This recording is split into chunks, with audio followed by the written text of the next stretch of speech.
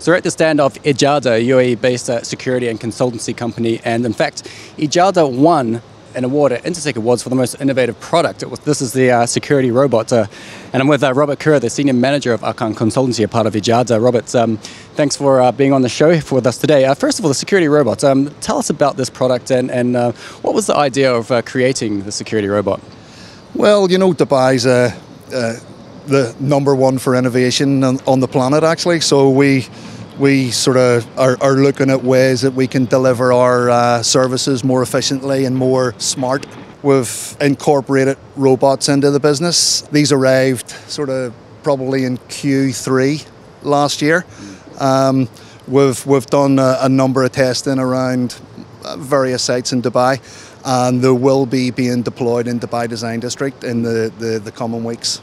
Nice. And, and how many will be deployed in Dubai, Dubai we'll Design District? Two of them in tandem. The battery life is approximately 12 hours. So while they're doing their patrols, one of them will be on the, if you see the charging point here, you know, the, the autonomous charging station, while the other one's still patrolling.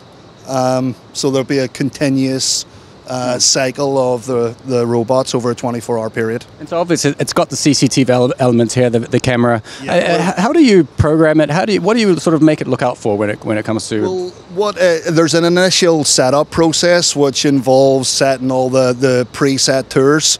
Uh, you can set up multiple preset tours. Uh, the robot will follow those randomly if you want, or it'll follow them in a specific sequence. There's uh, on this model here, we've got the panoramic cameras, um, we've got the PTZ camera, um, and there's analytics built in as well for um, facial recognition or if there's any sort of altercations, uh, fires, whatever, you know, that we can detect all that and send it back to the command and control center mm. for the appropriate action to be taken. One of the things I asked at Intersec Awards when you actually won this was, yeah. is this one day going to replace manpower in terms of security guards? I don't believe we could ever do that. You know, we always need that human interaction, but certainly, you know, in these hot temperatures where you need the, you know, you've got sort of very large perimeter areas, you know, why not have the robots patrolling instead of like it's too hot in it for, for humans to be walking about in these temperatures? How long did it take from concept to market to actually develop this product? It's it's for us, you know, these have been they have been deployed in other countries, so this is a first for Dubai.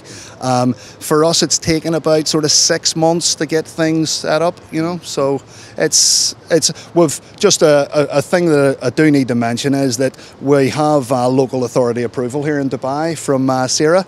Um, so that is that means we're completely legal. You know, there, there's we, we, we can deploy these as long as the client accepts them. We can deploy them legally in Dubai. Are you able to divulge on the cost?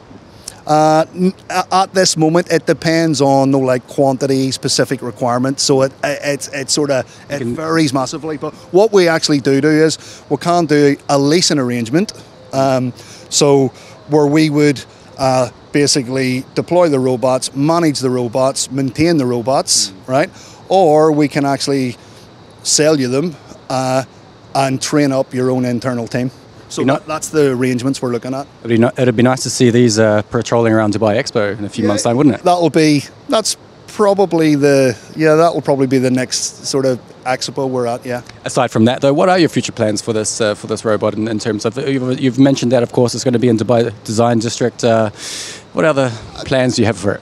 Well, we would hope, you know, we are, no, like, we, we do provide services in key buildings around Dubai, you know, like, you know, some of the biggest buildings in this town, we are the security provider. So we've been discussions, we've been in discussions with the directors of those estates, and we will be looking to deploy in there as well. International expansion? Um, uh, yeah, you know, like you know, we'll have to set targets and goals. You know, so got to be ambitious, you know, like right? Probably KSA is the next sort of bit. And what's the interest been like at Intersec 2020 so far? Massive. You know, as I say, this is a smart city solution. You know, it's it's integrating with it's integrating with smart software solutions. This fits in. You know, so it's it's obviously everybody's moving smart. Security robots is your thing, you know. bling bling. Thank you very much for your time. no problem, no problem. Thank you.